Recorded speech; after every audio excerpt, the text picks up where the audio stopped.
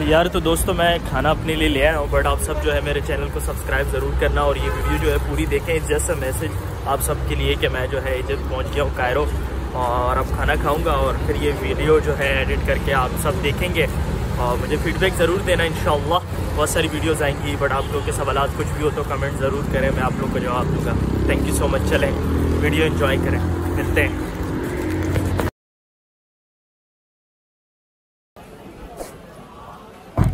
असलम दोस्तों, उम्मीद करता हूँ आप सब खैरियत से होंगे। मुझे नहीं पता कि ये ब्लॉग मैं कहाँ से कहाँ शुरू करूँगा। मेरे पास मोबाइल में डेटा लग स्पीज भी कम है बैटरी भी कम है और मैं बड़ी मुश्किलों से घर से निकला हूँ। वो कहानी बाद में सुनाऊँगा। अभी मैं एयरपोर्ट में हूँ चेक इन स्टार्ट नहीं हुआ, बीस से पच्चीस मिनट लगेंगे। तो चेक इन स्टार्ट होगा, अंदर जाएँगे तो मैं आप लोगों से बात करूँगा। I don't know just random talk कोशिश कर रहा हूँ कि ब्लॉग बना सकूँ। ब्लॉग से निकल गया हूँ मैं। कि मैं जो है पाकिस्तान से निकला कायरों के लिए और फिर कराची से आ, उस तरह की बारिशों में बारिशों का दिन था और बहुत ही मुश्किल हुआ कि मैं अपने घर से मुझे एयरपोर्ट पहुँचना पड़ा। सैलाब के मुझे लाइक कश्ती की ज़रूरत पड़ गई थी इस तरह के हालात थे बट मुझे जो है आ, फ़्लाइट पकड़नी थी और ज़रूरी था कि मैं टाइम पे पहुँचता। तो इसी दौरान ना जो है मैं मोबाइल यूज़ कर सका ना कैमरा यूज़ कर सका ना वीडियो बना सका और उसके बाद जो है एयरपोर्ट पहुँचते ही आ, बहुत ज़्यादा अजीब फीलिंग थी बिकॉज़ मैं जो है इससे पहले अमेरिका तो जा चुका हूँ बट फिर एक अरसा जो है मैं पाकिस्तान में रहा हूँ, ढाई से तीन साल तीन साल हाँ तीन साल मैं पाकिस्तान में रहा हूँ और उसके बाद ऐसे निकलना और कायरो जाना अपनी एक विज़िट के लिए जो मेरे लिए बहुत मुश्किल था और उसके बाद बहुत मुश्किल हुई पाकिस्तानी इमिग्रेशन को क्रॉस करते हुए, क्योंकि बारिशें थी, हालात ख़राब थे लाइक मौसम बहुत ज़्यादा ख़राब था और बहुत डर लग रहा था कि कहीं लिफ्ट जो है कैंसिल फ़्लाइट जो है कैंसिल ना हो जाए। तो इसी दौरान जो है इमिग्रेशन वालों ने जो है मुझे, मेरे साथ थोड़ा सा वो किया, क्योंकि वो थोड़ा रूड हो रहे थे। फिर उन्होंने मुझसे सवाल किया कि आप इजिप्ट क्यों जा रहे हैं? तो मैंने कहा, पाकिस्तान के फ़िरौन देख लिए। अब जो है, मैं कायरो के, मिस्र के जो है, फ़िरौन देखने जा रहा हूँ। तो उस पर जो है, उसने मुझे वापसी लाइन में भेज दिया था, जो कि 200 बंदों की लाइन थी। फिर दोबारा मुझे लाइन में लगा। इन सब स्ट्रेस की वजह से ना तो मैं मोबाइल यूज़ कर सका, ना मैं कहीं वीडियो बना सका क्योंकि मुझे बहुत ज़्यादा घबराहट हो रही थी इमिग्रेशन क्रॉस करते हुए और आगे इजिप्ट जैसे ऐसे शहर जहाँ ना तो कोई इंग्लिश बोलता है, ना आप किसी के साथ कम्युनिकेशन कर सकते हैं और मैं अकेले जो है ऐसे ट्रैवल कर रहा था। बहुत ज़्यादा डिफ़िकल्ट था बट अल्लाह अल्लाह करते जो है मैं चिता एयरपोर्ट पहुँच गया।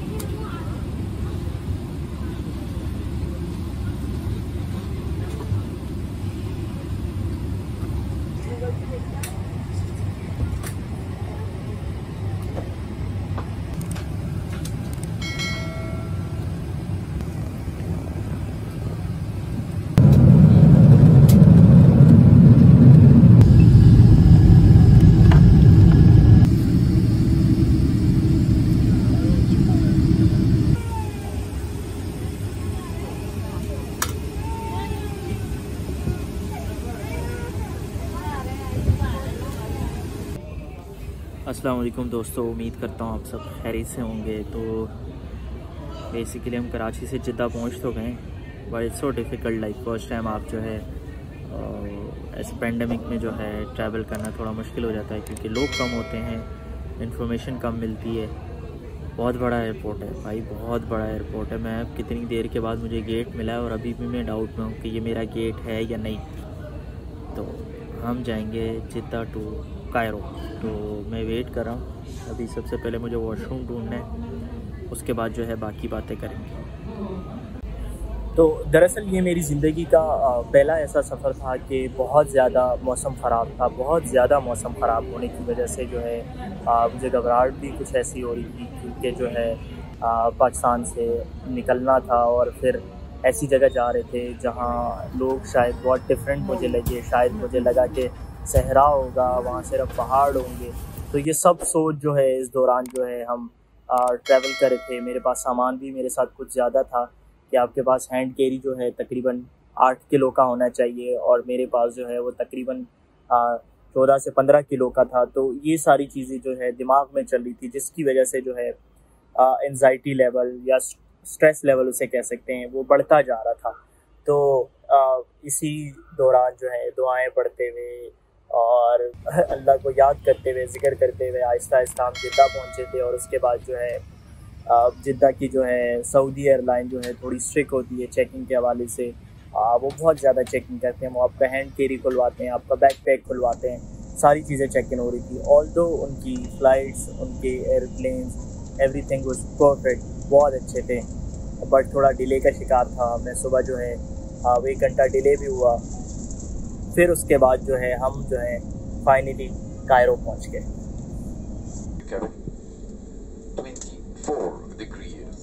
Celsius local time. Quarter to 7 a.m. Please your country yarkante questo remain seating in seatbelt fastened